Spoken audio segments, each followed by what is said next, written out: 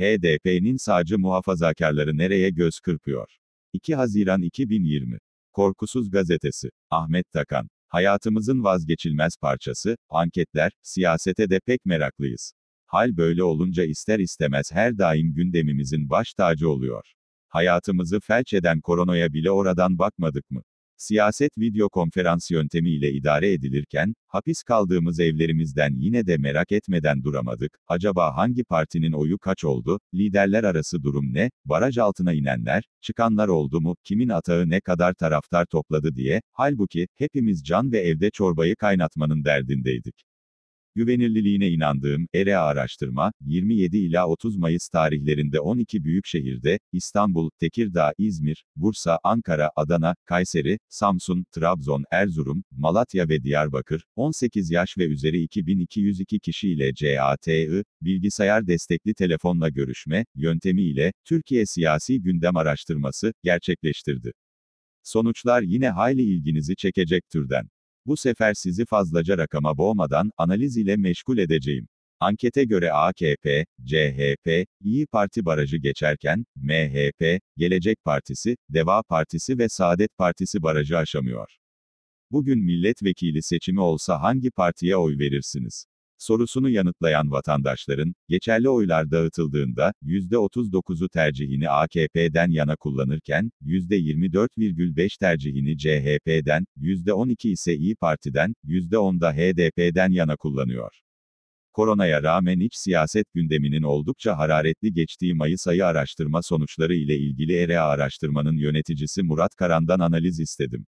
Kara'nın tespitleri şöyle, eksi 24 Haziran 2018 milletvekili seçimleri resmi sonuçları ile Mayıs 2020 araştırma sonuçları, geçerli oylar üzerinden, kıyaslandığında İyi Parti'nin oylarında %2,0 oranında artış görülmektedir, %10,0'dan %12,0'a, AK Parti'nin oylarının %3,6 oranında düştüğü görülmektedir, %42,6'dan %39,0'a, Cumhur İttifakı'nın oy oranlarında düşüş olduğu, %50 %53,7'den %47,0'a, Millet İttifakı'nın oylarında ise yaklaşık %4 oranında artış olduğu görülmektedir. %32,7'den %36,5'e, Nisan 2020 araştırmasına göre kıyaslandığında, kararsız seçmenin halen fazla olduğu göze çarpmaktadır. AK Parti'nin oy oranında kısmi artış, İyi Parti'nin oy oranında kısmi artış gözlemlenmektedir. MHP %8 ile baraj altında kalmaktadır. Deva Partisi, %2,6 ve Gelecek Partisi'nin, %1,4 toplam oy oranı %4 seviyesindedir. Oy oranlarında kısmi değişiklikler olmakla birlikte oranlar 24 Haziran 2018 seçimleri ile paralellik göstermekte ve seçmen Millet İttifakı'na desteğini sürdürmektedir. Türkiye'nin yönetim sistemi, kararsızlar dağıtıldığında, güçlendirilmiş parlamenter sistem, %57,3 Cumhurbaşkanlığı hükümet sistemi, %42,7 Mart 2020 araştırmasından bugüne, güçlendirilmiş parlamenter sistem, lehine makas açılmaktadır. Türkiye'nin yönetim sisteminin, güçlendirilmiş parlamenter sistem, olması gerektiğini belirtenlerin oranı, erkeklerde kadınlara göre yüksektir. İleri yaş gruplarında Türkiye'nin yönetim sisteminin, güçlendirilmiş parlamenter sistem, olması gerektiğini belirtenlerin oranı yüksektir.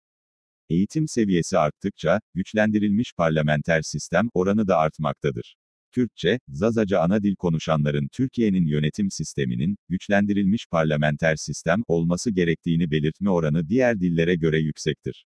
Atatürkçü ve sosyal demokratların Türkiye'nin yönetim sisteminin, güçlendirilmiş parlamenter sistem olması gerektiğini belirtme oranı diğer sosyopolitik kimliklere göre yüksektir, siyasetçilerle ilgili genel kanaat. Olumlu, kanaate göre %20 üstü, Recep Tayyip Erdoğan %51,6 Meral Akşener %38,3 Devlet Bahçeli %32,3 Kemal Kılıçdaroğlu %26,9 Ali Babacan %20,1 Nisan 2020 araştırmasına oranla Meral Akşener ile ilgili kanaatte gözle görülür artış dikkat çekicidir, %31,2'den %38,3'e.